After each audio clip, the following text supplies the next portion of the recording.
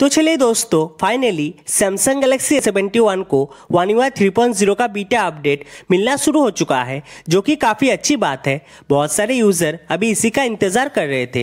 हाल ही में Samsung Galaxy A fifty one five G और गैलेक्सी एम थर्टी वन को अपडेट मिला था और गैलेक्सी एम थर्टी वन को तो सेकेंड बीटा अपडेट भी मिल चुका है इंडिया के अंदर। अभी सैमसंग ये अपडेट साउथ कोरिया पर रिलीज़ किया है, जहाँ पर हमें बीटा अपडेट के साथ लेटेस्ट सिक्योरिटी पैच देखने को मिल जाता है। है। जैसे कि इसी के ऊपर काफ़ी दिनों से टेस्टिंग चल रहा था और दोस्तों, अभी इंडिया में इसका टेस्टिंग लगभग कंप्लीट हो चुका है। लेकिन जैसे कि साउथ कोरियन कंपनी है सैमसंग, इसीलिए पहले हमें वहाँ पर अपडेट देखने को मिलता है। लेकिन इंडिया में भी हमें इसी महीने के अंदर अपडेट मिल जाएगा। और दोस्तों, ये जो अपडेट होगा, वो काफ़ी बढ़िया अपडेट होगा।